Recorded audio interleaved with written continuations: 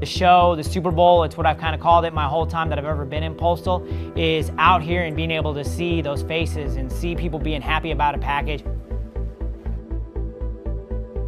As soon as the mail shows up, we just yell, hey, it's game time, let's get it on, let's pitch the mail and do what we need to do, and then just seeing how everybody reacts when they get their mail, because out here is where it's important.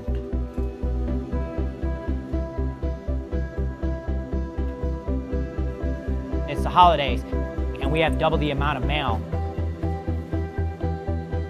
But here, we're basically Christmas every single day.